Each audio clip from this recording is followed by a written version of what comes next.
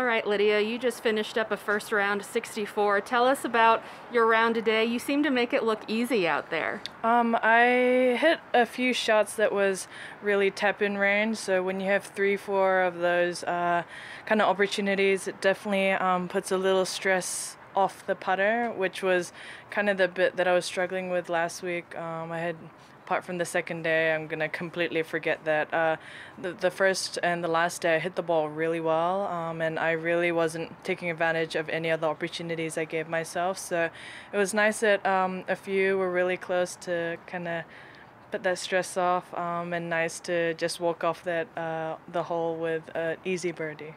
I know you had an easy birdie here on nine. What were some of those other easy tap ins you had? Any moments that really stood out to you?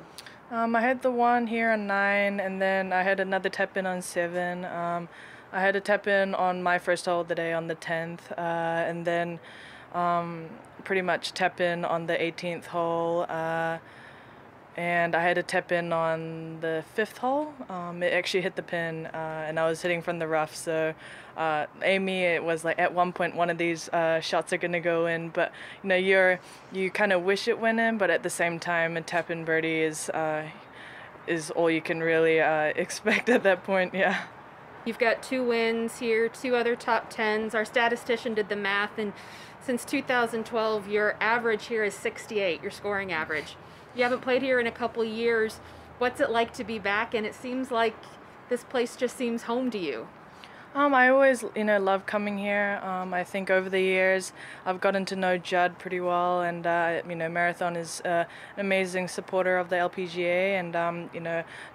even through these crises, you know, for them to host an event uh, and make it the best possible tournament, uh, you know, without, I, I know, hope, we wish there were fans here, but even without those, for them to do pretty much everything in their power for us to play here this year, um, I think it's, you know, credits to them and credits to everyone at the uh, LPGA. But no, it's, it's nice. Um, it's not one of the longer golf courses, but throughout the years, they've lengthened some of the holes and they've added a few bunkers this year. So, well, I know this year we're within the time that I've been gone. So yeah, no, it's it's good to be back. Um, it always you know makes you draw on uh, good memories. But I think I hit some not so good shots, but got really lucky where I had an opening and I could go for the green. And when that's kind of the case, um, you try and take advantage of those.